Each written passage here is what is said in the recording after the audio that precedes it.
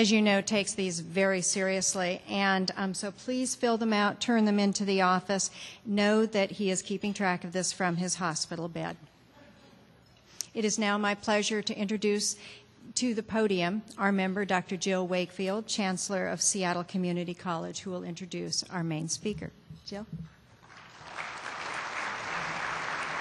Please welcome me in welcoming U.S. Undersecretary for Education, Dr. Martha Kanter.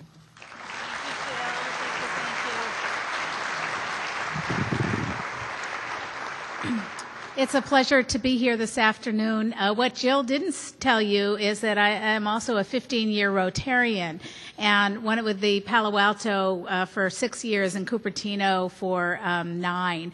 And it was sad to let go of that. I was going to be president of Rotary in Palo Alto July 1, 2010. But when you get a call from the President of the United States through his secretary, Arne Duncan, and you say, say, yes without giving it a second thought, and then you call your mother and say, What did I do? And she said, Just go, and I did.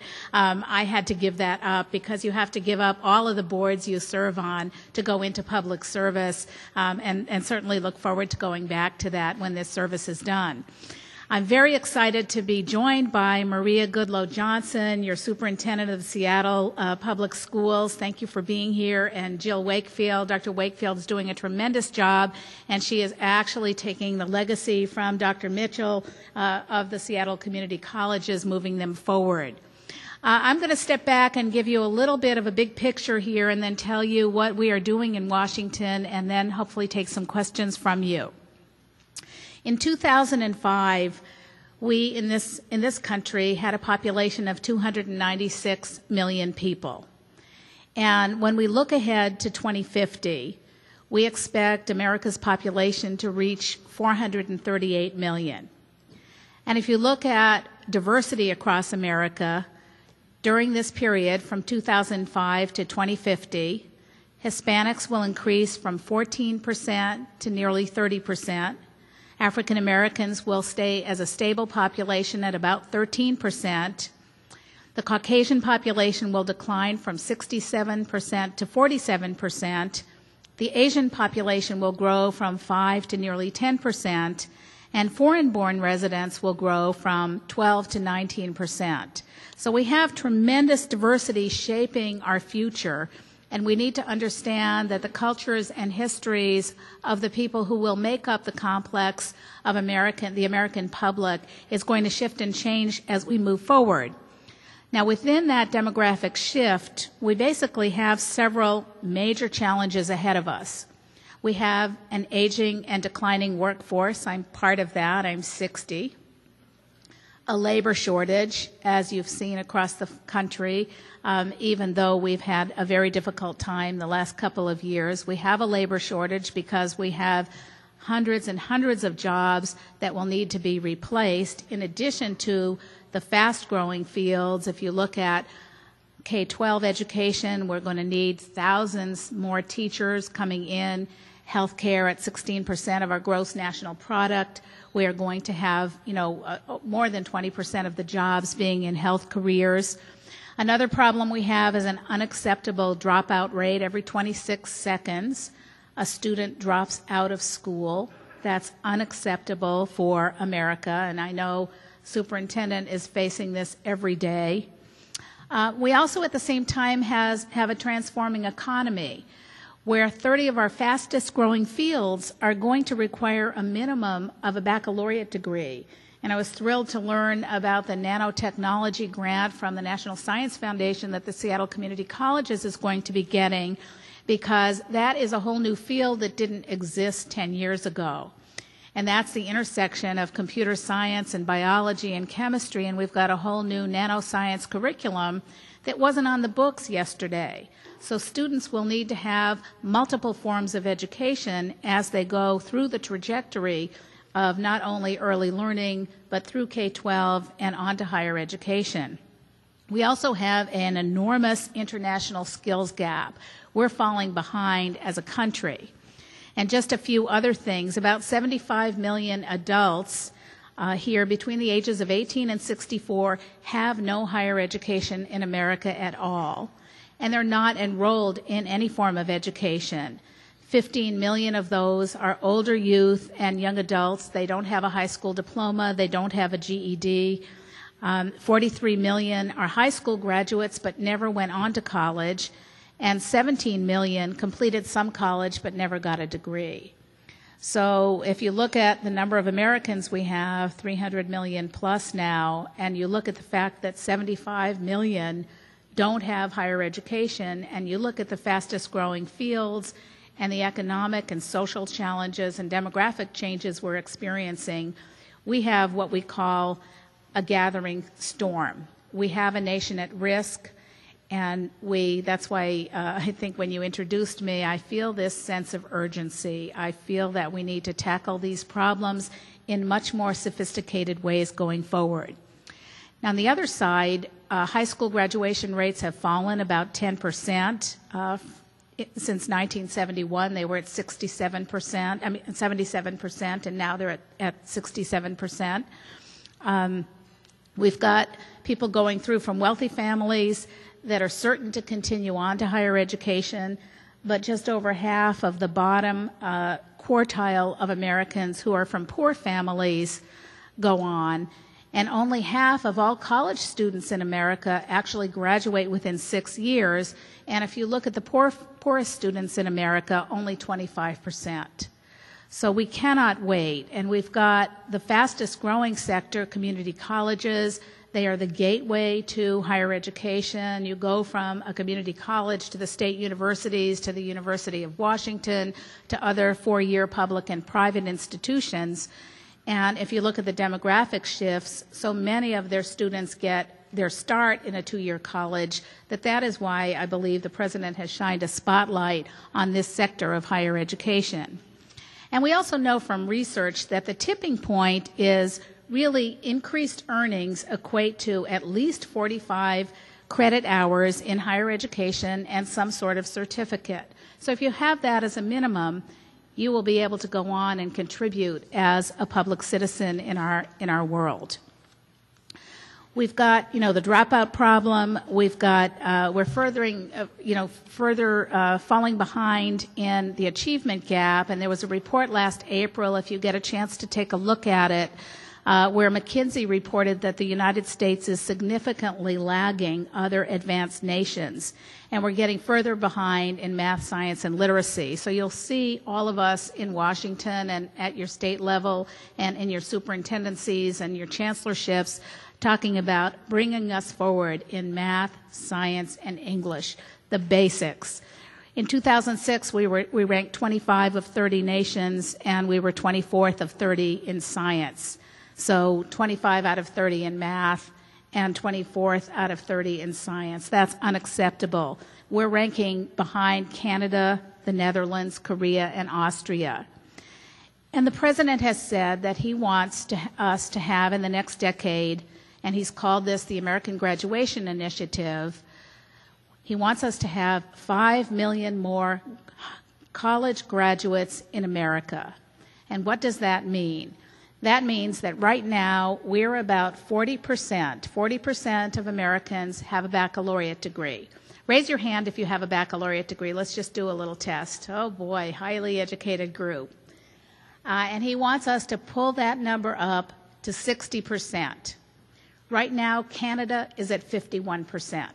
So Canada is my short term target. The president's goal is my long term target. We're tr- going to track every single year in the next decade to meet the president's goal. How are we going to do that? We are going to look to the leadership of the superintendents to be working with the community colleges and the universities. We are going to be looking to the business community. One thing that America does not know well enough is that in today's world, two thirds of our undergraduates in college work while they attend college. People do not have a mindset of this it was interesting. I had to do an H1N1 webinar for, uh, I think it was about 400 colleges and universities uh, getting ready to, to really deal with the, the flu situation. And I was reading uh, a summary of, um, of the plan and the guidance that we actually have out on the web, and it's, it's very well done. but it spoke about preparing for situations like uh, what happens if the H1N1 virus affects a college or a university during Greek week. And I thought to myself, Greek week affects maybe less than 5% of the 6,000 colleges and universities in the country.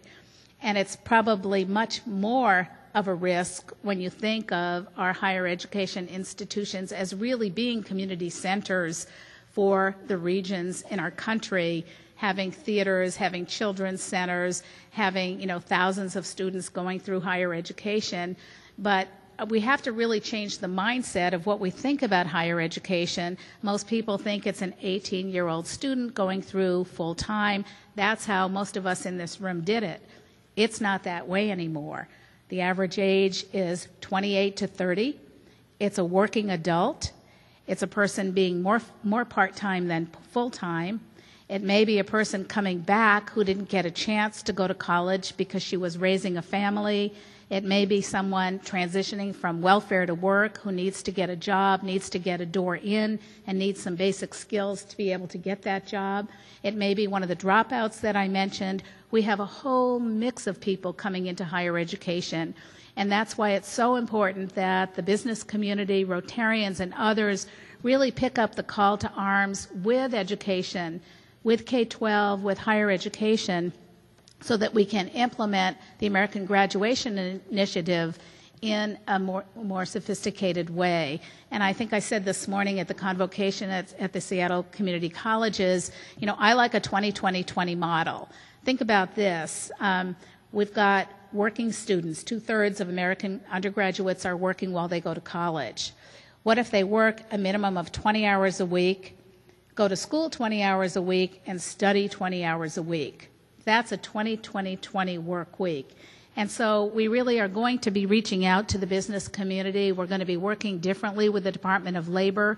We're going to try to link up the silos in funding so that we can be more efficient with the funds that we do have and really put them toward more students not only getting into college on the one hand, but more throughput, more students graduating from college and being ready to ladder up to that next level in the workforce because we have this tremendous, tremendous workforce gap as well as an achievement gap.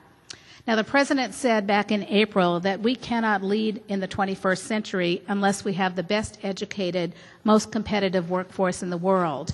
And I think it's most of the reason why I said yes immediately and didn't hesitate when I was asked to go to Washington. The problems are enormous, but we have to have everyone in America participating to solve them. One thing that the president announced was the American Graduation Initiative.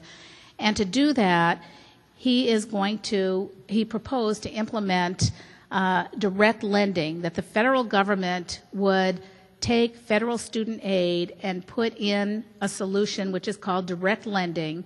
So without going through a third party, which is the banking industry, we would be servicing the loans directly through the Department of Treasury, and then the banks and the lenders would service students on the other side. Direct lending is going to be a very exciting program, and it's going to save the government $87 billion over 10 years if we do that. That's envisioned in H.R. 3221. It's put forward by Congressman Miller. It passed the House last week. It's in the Senate, and I know your Senator Murray and others are working on that bill probably even today. And we're looking forward to those cost savings, some of which will allow us to fund increasing federal student aid to allow 2.7 poor students to come to college accessing Pell Grants and another million eligible for low cost loans directly from the government. So that's a very exciting program. The remainder of those savings will be reinvested, as, as President Obama has proposed, into education. So we're very excited about that bill going forward um, to be passed, and you know, hopefully, we will be able to get a solution to our health care crisis. And please don't ask me any questions about health care because I have to defer to uh, Secretary Sebelius and others who are working nonstop in that regard. But education questions, absolutely. So we're very excited because these funds, with the cost savings through implementing the federal student aid program, will allow us to accelerate achievement. And people ask me, you know, what are you going to work on in Washington, D.C.? I say two words double A, accelerating achievement, getting more throughput, getting students through college, doing everything we can to be smarter about the working student so that student will have the access and does need the job, does need to contribute to the family income, and will be able to complete the units necessary to get that certificate, to enter the job market, to get a degree like you all have and move on, and many will become the senior scientists and the others that we look toward uh, leading our country in the future. So we're also, as part of this, working very closely with K 12 with our school system because we know that the students, the, actually, the seventh grade student today is the student that should have a baccalaureate degree in 2020. So if you look at the whole group of seventh graders, and I look at this as a short term solution because I think in Washington you're asking us to think long term. And one of the things the president has proposed as part of the American Graduation Initiative might seem a little funny, but to me it's critical. It's the first fund in the country that will focus on early learning, zero to five. And if you look at students uh, coming from the lower sectors, the lower income sectors of the economy nationally, students are coming to school hungry. Students are coming to school without the parental guidance that you would expect every student should have access to. That zero to five age is not well understood in the research community, and it's certainly not linked as closely as it needs to be with the elementary school level. So the goal there being ready to learn at kindergarten, uh, after you get a good infusion of early learning and support from and parental responsibility and all the rest of it that goes along with that. So you'll see early learning linked to K 12.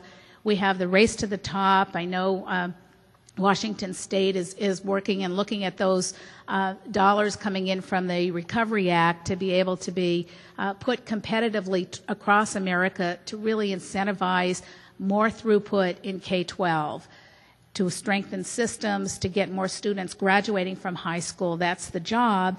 And actually, on Wednesday this week, uh, new common standards for the country have been released in math and English. So we ask you, if you're interested in this, to go out to the achieve.org website and take a look at those standards. And those of you who are mathematicians, uh, certainly the sailors love mathematics. They're usually, you know, physics, math graduates.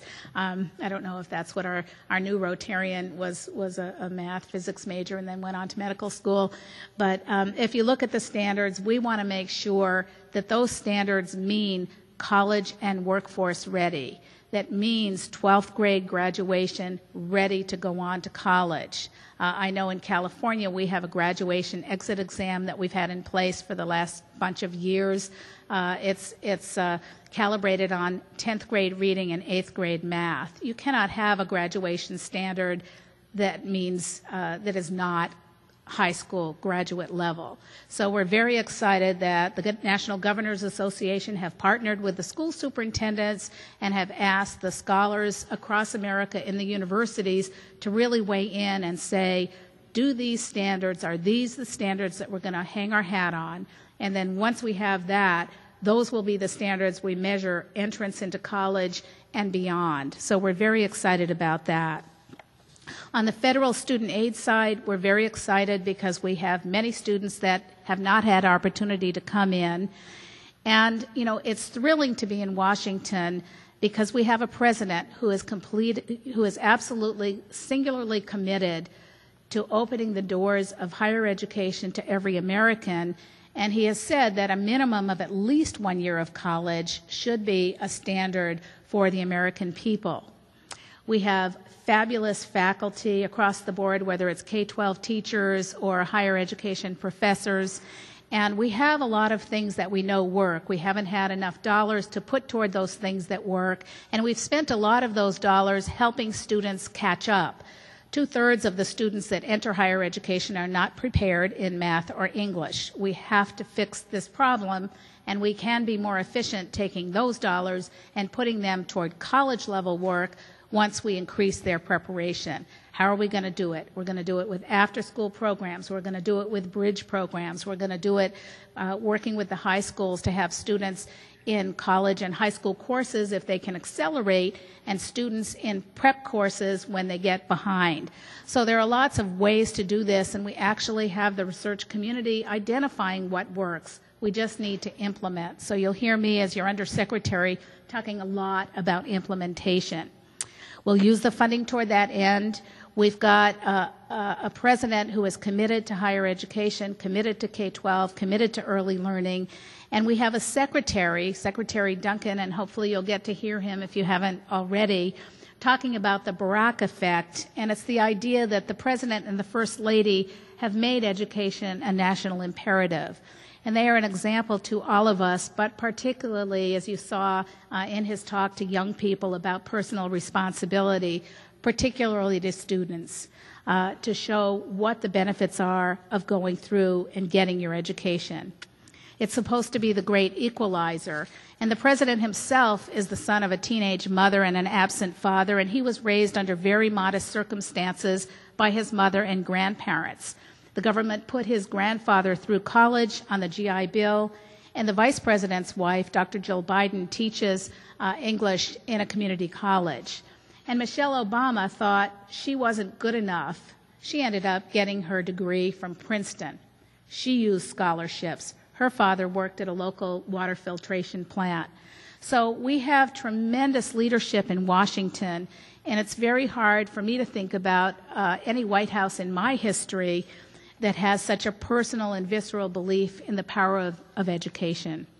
So uh, let me close there and just tell you um, how thrilled I am to be in Seattle. I think you are in a center of innovation for the country. I think you're doing great work. I hope you apply for the new funds that will become available and really help us build upon the successes that you have so we can get more students through college. So I want to thank you very much, and we will now, I guess, take questions. Thank you so much.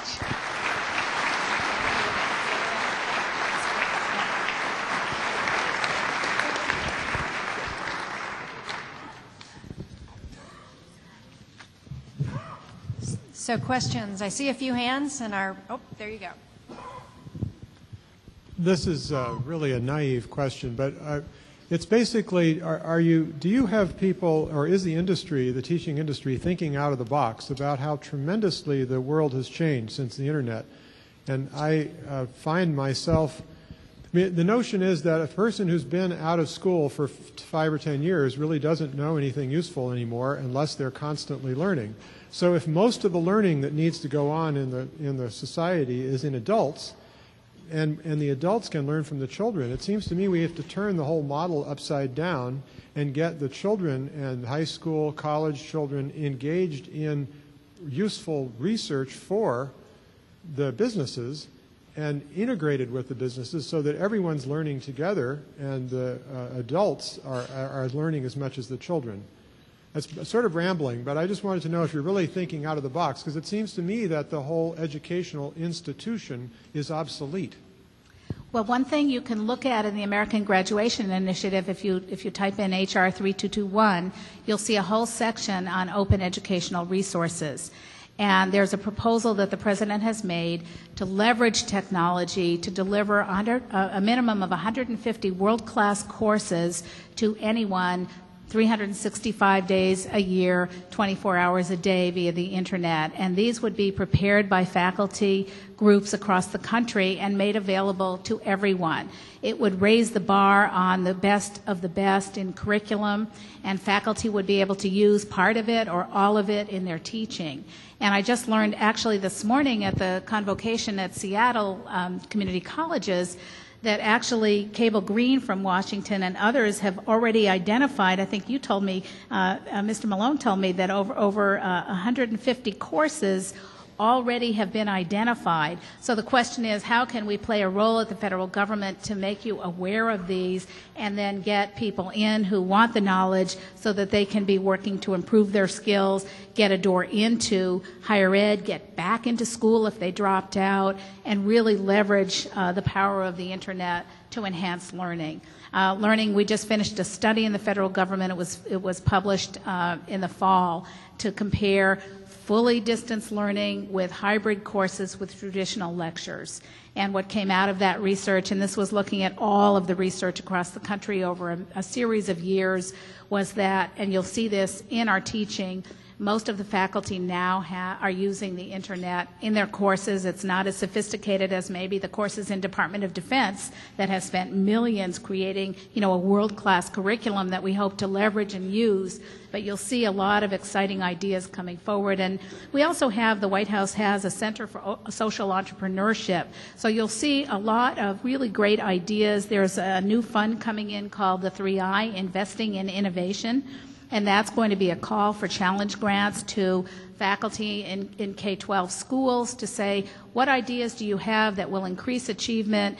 How are you using technology? All manner of innovation that could actually, as I said before, accelerate achievement, get higher quality learning, more accelerated learning, and more success so students can get those degrees and certificates to be successful. Last quick question. Uh, thank you very much for being here. Uh, I hope that uh, uh, one of the things that I question is how many days a year should a kid be going to school? It seems like that in most places in the world, they go to school a lot longer. They get a lot more school hours than our kids do. Could you comment on that? Yeah, I think students should be learning all the time. and I think there are informal networks and formal networks in our schools, and I think uh, some schools have adopted year round, others have adopted, you know, the traditional calendar. I think we need to, as, as you said about innovation, really try to figure out who needs more education and how we can give students longer days that need them, shorter days when they can accelerate and do other things maybe to enhance their own learning. And I think, you know, one size doesn't fit all in today's America. This is the 21st century. So I think we have actually, if you ask me, that's another whole speech, which I don't have time for. But, you know, I think we have to move from an agrarian model to a 21st century model that really follows kids and what they need. So if a poor kid starts first grade and they're behind 25%, of course they need a longer day. They need more learning. Can we afford that with the systems we have? That's really the challenge to the states and the institutions. But we cannot leave these kids behind any longer. Thank you so much.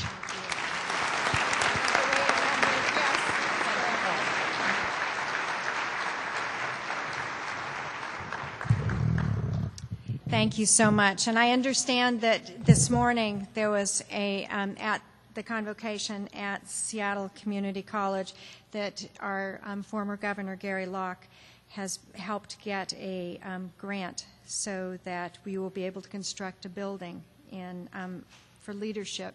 And that, coupled with a $6 million with the grant, a grant from the Gates Foundation, is a huge accomplishment. And we share our congratulations with all of you. Thank you.